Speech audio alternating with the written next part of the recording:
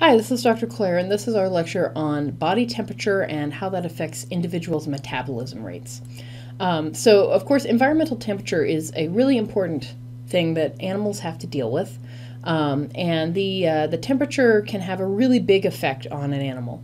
Um, so, uh, some animals deal with environmental temperature by conforming their body temperature to the environmental temperature. So, their bodies are basically the same temperature as their environment. And so, they have adaptations that allow them to function at, um, at, temp at temperatures that are the same as their environment. Like this fish here, pictured on the top panel. Um, that fish's body temperature is probably almost identical to the water that surrounds it, which is very icy in this case. So, that fish has a very cool body temperature. Um, other animals will regulate their body temperature and maintain it at a level that is different from the environment. So an example here is the, the bird in the bottom picture whose body temperature is probably much warmer than its environment in that particular scenario. So um, these, uh, these uh, ways of dealing with temperature have a big impact on the physiology of the animal. Um, so body temperature is influenced by the environment, but it is also influenced by what's going on inside the body. So particularly the metabolism in the body. Whenever you uh, go through uh, cellular respiration, so you take sugars and you break them down to form chemical energy in your body, um, that chemical process produces heat as a byproduct. So the more um, metabolism you're going through, the more byproduct heat you're going to produce.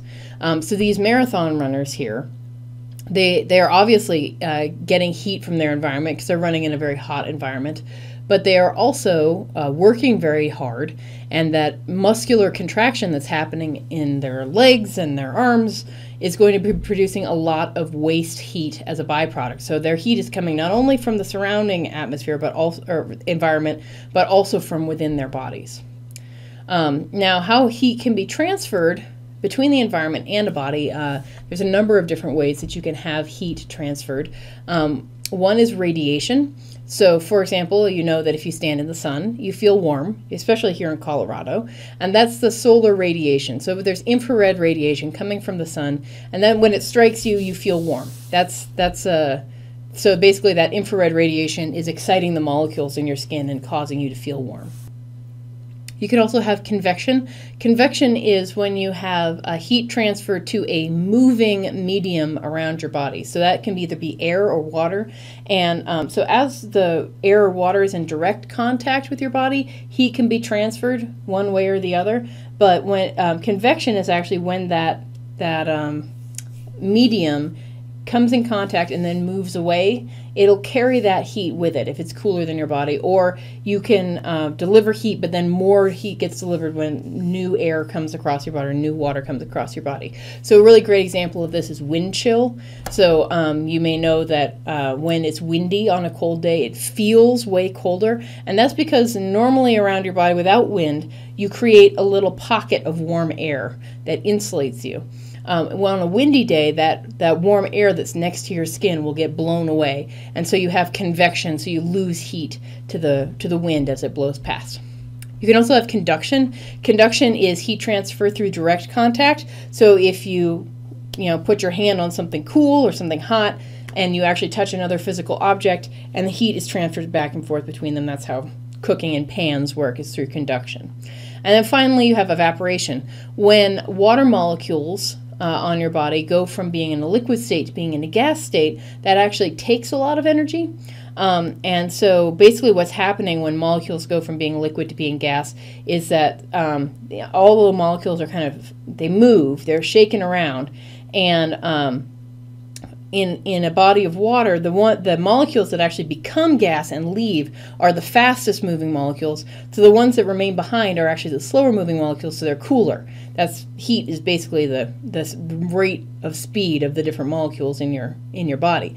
So um, when water evaporates, the remaining tissue that it evaporated from is going to be cooler, and so heat can be lost through evaporation as well. Okay, so those are some ways you can transfer heat with your environment. Another really important component of heat transfer is how much surface area you have relative to the volume of your body. So, um, of course, whenever you have a larger surface area, you have more surface that is in contact with the environment. So if the environment is very cold, uh, if you have a greater surface in contact with the environment, you can lose more heat to that environment. Um, but you also have to take into account your own size. So, uh, how much surface area do you have relative to the amount of volume that you have? So, a very large object has a big surface area, but it also has a very big volume. And so, the surface area to volume ratio is actually lower than it is for a smaller object, which you can hopefully prove for yourself here looking at these different cubes. So, um, an animal that has a very large surface area to volume ratio is going to have a hard time maintaining heat in a cold environment, whereas an animal with a very low surface area to volume ratio, which is generally a larger animal, is going to be able to retain heat better. So, if you look at animals that, say, live across a temperature gradient, things like deer, um, you often find that um, in colder climates, individuals are larger, and part of that may be for heat conservation. Okay. Um, all right, so how do how do animals deal with environmental temperature? There's basically three major strategies. You can be an ectotherm. Ecto means outside. Therm is for temperature. So your turn your temperature is determined by the outside temperature. So you're dependent on external sources of heat to warm your body. You can't heat up your body yourself. Um, then you have endotherms on the other side of the scale. Um, so those are animals that can regulate their own body temperature. They can produce heat metabolically in their body and maintain their body at a higher temperature. So endo is within, therm is temperature, so inside heat, basically.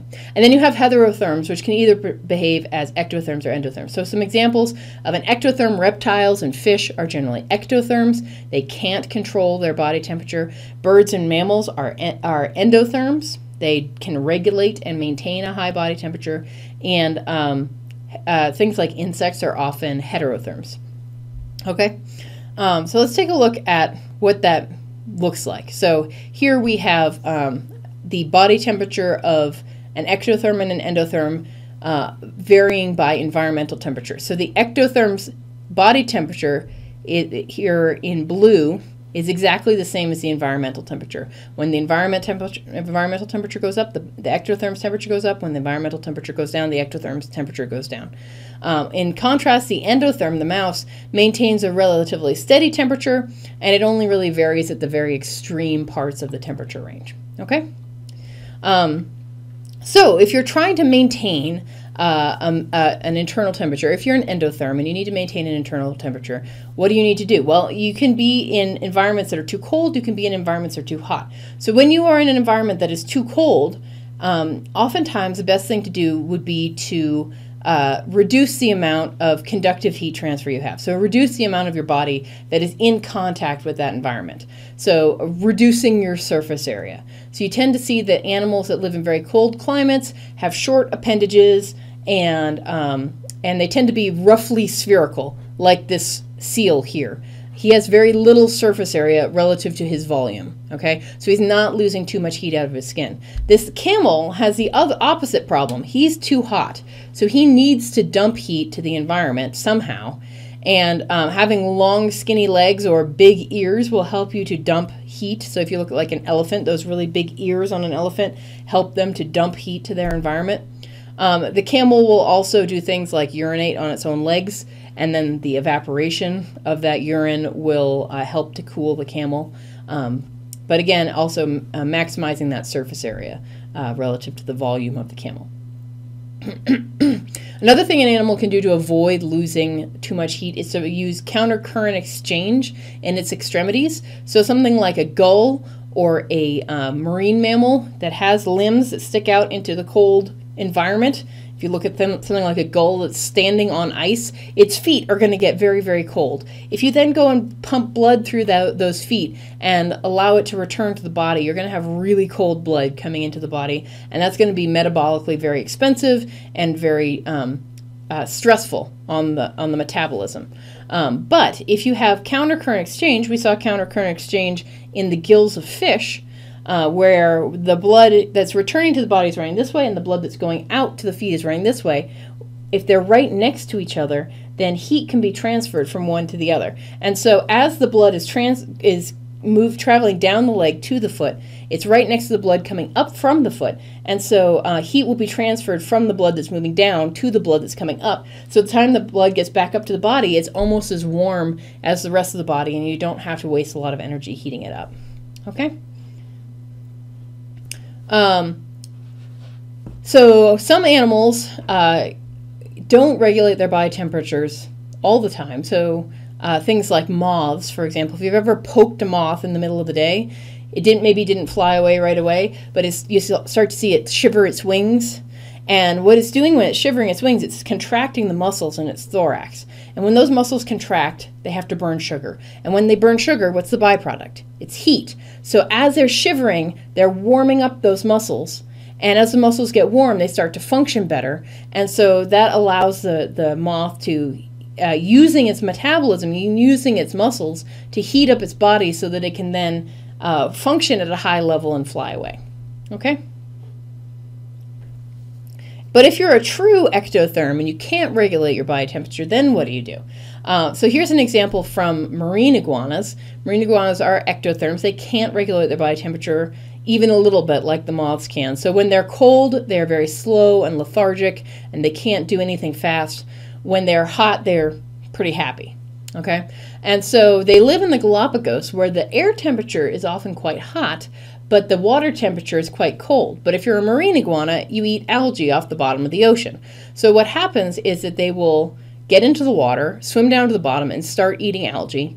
And as they're in the water, their body temperature gets lower and lower and lower, and they get they start to move slower and slower and slower. And so eventually they will reach a point where they're starting to not function terribly well. They'll climb back up on shore, they'll lay in the sun on a nice dark rock and get all toasty warm again, and then they'll jump back in the water to eat some more algae. And they just go back and forth and they regulate their body temperature by choosing what environment to hang out in. Okay? All right. So we've been talking about the difference between ectotherms and endotherms, and one other thing that's really important as a difference between ectotherms and endotherms is their metabolic rate, or how much energy they need to use uh, per unit of time. Okay, um, and if you look at something like an endotherm, they're constantly maintaining that high body temperature. That takes a lot of energy. Um, an ectotherm, they don't have to do that all the time, and so their energy levels aren't as high. So if you look at this graph here, um, the red line is our endotherms. The blue line is our ectotherms. And in this particular picture, they overlap. But if you look at the axes labels, so the, the uh, endotherm here goes from 10 to 40 metabolic units. And the ectotherm, its axis is over here, it goes from like half to four. So at every temperature, the endotherm's metabolic rate or its energy usage is higher than an ectotherm. So endotherms need a lot more energy. That means they need to eat a lot more than an ectotherm. So if you have a pet dog, you have to feed it every day, right? If you have a pet snake, maybe you only have to feed it once a week. It doesn't need as much food because its met metabolic rate is much slower than a dog, okay? Um, and then the other thing is that uh, an, an endotherm's metabolic rate is actually lowest when it's in an environment that is similar to its body temperature. If the environment is cooler than its body temperature or much warmer than its body temperature, then it has to start um, expending more energy in order to maintain its body temperature. Okay, so if it's too cold, it has to shiver or run around or you know do something to keep itself warm. If it's too hot, it has to sweat or pant or do something else that's going to cool it down. Um, both of those take more energy. So it's got the thermoneutral zone is actually at a kind of a medium temperature. Ectotherms, on the other hand, are completely dependent on the temperature of their environment. So as the temperature gets warmer, their metabolic rate gets higher, and as the temperature gets cooler, their metabolic rate gets cooler. We're going to be doing an experiment in lab where we compare the metabolic rates of hamsters and geckos, which are two examples of a, an endotherm and an ectotherm. All right, if you are an endotherm and you are regulating your body temperature, what happens if you, the environment gets too extreme? Um, well, you're going to die because um, endotherms require their bodies to be at a particular rate in order for them to stay alive. And if their body temperature drops too low or gets too high, they're going to die. Um, but you may notice that there's a much bigger range on the low end than there is on the high end. And why, why would that be? Well, um, when you are burning energy, that creates the byproduct of heat. So when you're too cold, you can burn a bunch of energy to warm up. You can shiver and jump around and do all this stuff, and that'll produce heat that'll warm you up. the, the only problem is if you can't burn energy fast enough to stay warm or you run out of your energy resources and you can't stay warm. If you're on the hot end, as you go further away from your thermoneutral zone, you have to burn energy to try and cool yourself down, but the byproduct of that of energy burning is more heat. So um, if you go too far, if you get too hot, um, as you're trying to cool yourself down, you're also making more heat, and you can get out of homeostasis much more easily, and you can die. Um, so there's a less of a range on the upper side of the thermoneutral zone than the lower side. Um, if you're an endotherm, another thing you can do is if you need to save energy is to allow your body temperature to get cold. So hypothermia is when you have a below normal body temperature and some animals will go into hypothermia voluntarily as a means of survival. So it's regulated hypothermia. So one example is hummingbirds. Um, at night, hummingbirds go into a state called torpor where they allow their body temperature to drop by about 20 degrees or so. Um, and when their body temperature is lower, they have to burn less energy in order to maintain that body temperature. But they can't be active at that time. So they're very lethargic. Um, if you find a hummingbird at night, you can poke it and it'll just sit there. It won't fly away. Um, it can't fly away. It has to warm back up before it can fly away. Um, but it burns a heck of a lot more energy when it's warm than when it's cold. So hummingbirds have such fast metabolisms that um, they could actually starve to death overnight if they didn't lower their metabolic rate. So they need to lower their metabolic rate overnight so that they can survive that period of time when they're not going to be able to feed. Um, other animals, like squirrels, will hibernate over the winter. Um, and in hibernation, you allow your body temperature to drop very close to the environmental temperature, so very close to zero. Um, and when your when your body temperature drops that low, your metabolism goes way down. You don't need nearly as much energy to stay alive when your body temperature is very cold.